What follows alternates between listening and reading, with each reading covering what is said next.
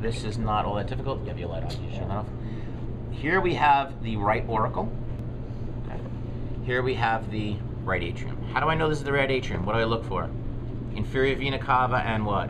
Superior vena cava. Everybody understand that you want to use those as your landmarks. Those are the ones I'm looking for. So inferior vena cava, superior vena cava going into the where? Right atrium. Okay, so this is the right atrium. So if I say identify the chamber. Answer is what? Right atrium. atrium. Identify the chamber. Right ventricle. How do I know it's the right ventricle? What is this right here? The LAD. Everybody see that? Left anterior descending coronary artery or the anterior interventricular coronary artery. Okay. That separates the what? This right ventricle from the where? Left ventricle. Good. This right here again is the right ventricle. Therefore, what is this vessel right here? Pulmonary trunk. Okay. Pulmonary trunk. Now, when we look at this, people say, well, where's the differentiation of when you call it pulmonary trunk and then call it pulmonary artery? Everybody see this right here? This is called the ligamentum arteriosum. We'll talk about this um, next class. The ligamentum arteriosum is the separating point between calling it the pulmonary trunk and then the pulmonary artery. Okay? So we look at this model. Here is the pulmonary trunk. There's the ligamentum arteriosum. Everybody see that right there? You guys see it? So this is the pulmonary trunk, therefore this is the left pulmonary artery. Okay? If we look over here, this is the right pulmonary artery. Right pulmonary artery. Look for the blue. Okay, so look inside the vessel itself for the blue structure. Okay? So pulmonary trunk. Then we have left auricle, left ventricle for the chamber. How do I know that this right here is the left atrium? What are these vessels right here? The left and the right pulmonary veins. Okay? Here are the pulmonary veins. Left pulmonary veins and the what? Right. pulmonary veins. Lead into the where? Left atrium. Does everybody get that? The left atrium. Okay? Does everybody have that? So if we look on the posterior side, this is the left, this is the right. How do I ide- identify it? To be very honest with you, I look for the inferior vena cava every time. My eyes always gravitate to it because I know the inferior vena cava leads into the where? Right atrium. Therefore, if this is the right, this must be the what? Left. And I confirm it by saying, okay, these must be the pulmonary veins. Makes sense. This right here, vessel, is the is that posterior interventricular coronary artery, right? Therefore, if we're looking posterior, this is the left ventricle, and this is the what? Right ventricle. Everybody get that? Mm-hmm. Okay. Identify the pointed part of the heart, apex. Identify the wide part of the heart, base. Okay. Now let's go through the um, internal part of the heart, and then we'll hit the coronary arteries. What? Right now we're in the uh, atrium, correct? What are these muscles right here that are found in the atrium called? Pectinate muscles. Remember pectinate? What are they called? Very good. Pectinate muscles, okay? Then we get to inside the ventricle. Okay, inside the ventricle. So here we're in the ventricle. All of these muscles right here are what? Trabeculae carneae, aren't they? Trabeculae carneae. And what are this? What is this? This? And these kind of ones? Good. What were they? Papillary muscles. Good. Those are the papillary muscles. This right here, therefore, is what? Chordae tendineae. And this right here, sorry about that. This right here, no, no, no, I want to help. This right here is called what? Which one? Say it. What is this? Tricuspid valve. Excellent. Tricuspid valve. Because these are the chordae tendineae attached to the what? Tricuspid valve. Okay? Everybody got that? Okay. So, trabeculae carneae, papillary muscles, chordae tendineae, and tricuspid valve. This, again, if I say identify the chamber, the answer is what? Right ventricle. Then it gets to this valve, which we can label there or I can label there. What valve is this? Pulmonary semilunar valve, because it's going to go up and it's going to join. Where am I? Right here. Everybody see that? Okay. This is having problems. Okay. I don't know why that's having problems there. Oh, there we go. That's why. Because this piece has to be in. Okay. Does everybody see that? There we go. Okay. So this is the pulmonary semilunar valve. Pulmonary semilunar valve. It's okay. Sorry. You okay? I'm fine. Okay. If we look in here, if I open this up, now I, I'm not just going to simply do that uh, and leave that like that, and then I say identify. It's just, it just doesn't, it's not fair. It's not what I think is fair. Okay? But let me just tell you that this sits like this. If I have it open like this and say identify the muscle, the answer right here, this is part of the left atrium. What's the muscle in here? Pectinate. Pectinate muscles. Good. Then again, what is this right here? Nope. Papillary. Papillary muscle. What's this right here? Papillary muscles. Can you guys see that? Can you see it back there? Okay. Then all of this here and here is called what? Trabeculae. Trabeculae carne. Okay, is called trabeculae carne. If I say identify this structure here, what is this structure here? Chordae tendineae. Good, this is chordae tendineae. Then what is this right up here, that solid structure? Bicuspid valve, also known as the mitral valve. Okay? If I say to you, identify the structure here, the answer is what? Good, okay? Now, if we look at, no, I'll never ask that that way. Okay? Does everybody have what we've done so far? Okay. Now, we lead into, are we? Okay. Okay. So here we have the left uh, ventricle. Then we have this here. This is what? What is this structure going up right here in red? The ascending aorta, right? Ascending aorta. If we open it up, we see a valve inside. So I'm gonna put my stick on it so you can see it.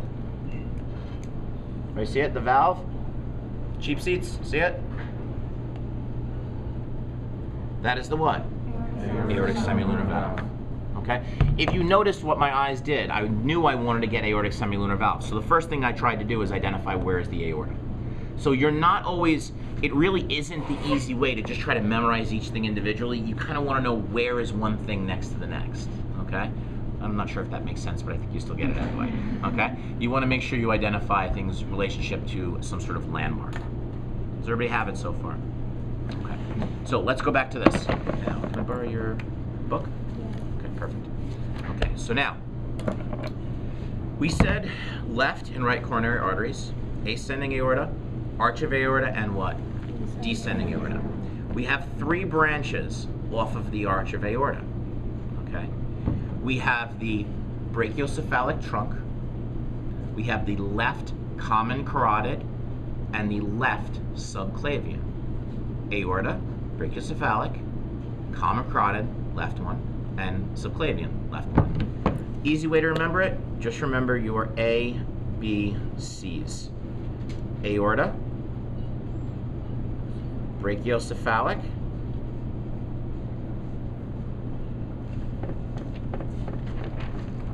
common.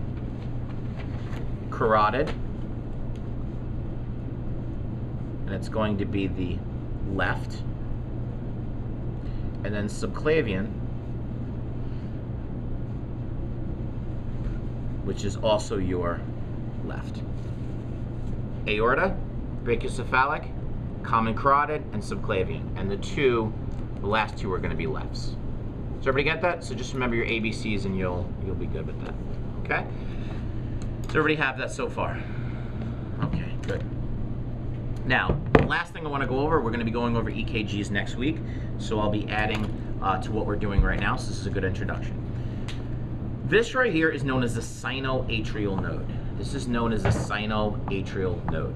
People shorten it down to SA node, okay? Now, beyond this test, once we get past this test or an lecture exam, you may see SA node, that's okay. But for this exam, you must write down sinoatrial node just to prove to ourselves that we actually know what SA stands for. Probably for the rest of your life, you'll never refer to it as sinoatrial, probably just SA. But again, for now, we want to make sure you know what it actually means. So this is the SA node or sinoatrial node. You don't physically see anything on a heart that indicates where it is. They do it based upon electrical testing, okay, to know where this, um, where these cells are located. So these cells are actually different than the cells that you see that make up the myocardium. Okay, they're known as conducting cells. They have a high electrical activity. They display something called automaticity, meaning that these cells are responsible for the contraction of the heart. They send the electrical signal throughout the heart for it to actually cause the heart to contract. And we'll talk more about that in lecture. So this right here is going to be the sinoatrial node. It sends an electrical signal through these fibers.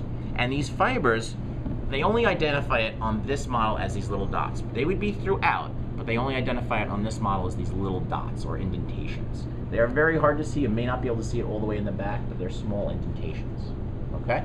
Those small indentations, which you would be able to find throughout, are called internodal fibers. What are those small indentations called? Internodal fibers. Good, internodal fibers. They all lead to this other structure here that the company has painted green. Again, there's nothing painted green in your heart. There's nothing there that really indicates where exactly it is, but we know that it rests on the border between the atrium and the ventricle. Okay? Therefore, we refer to this as the AV node because it sits at the border between the atrium and the ventricle. So it's known as the what? AV node. Okay? Makes sense, right? Okay. From the AV node, the AV node is going to collect the electrical signal and then send it through the ventricles. So it collects at the AV node, so it goes SA node, internodal fibers, AV node. From the AV node, it then sends a signal. Now I like this heart because it still shows some of the white fibers.